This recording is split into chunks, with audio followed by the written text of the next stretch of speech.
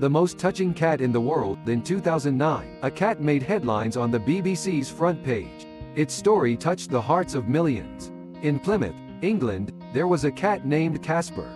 Every morning at 10.50, he would hop onto a particular bus, then he'd quietly lie down by the window, gazing into the distance. Over time, the driver and passengers grew familiar with him. The driver would wait if he arrived early, Passengers would give up their seats for him. The whole journey was 17.5 kilometers, and upon reaching the destination, he would quickly disembark, vanishing into the crowd. In the evening, he would catch the same bus back to the starting point. Casper persisted like this, rain or shine, for five years. When hungry, he'd scrounge for leftover food in trash cans. Kind-hearted passers-by would sometimes give him a bit of cat food.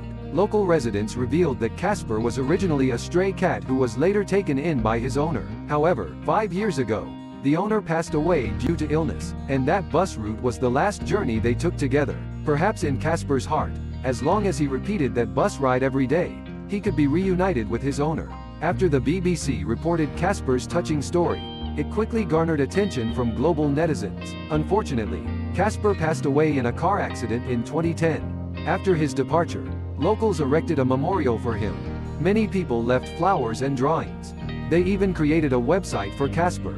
A book titled, Casper, The Commuting Cat, was officially published, later translated into six languages. Perhaps Casper was just a passing figure in his owner's life, but his owner was everything in Casper's lifetime.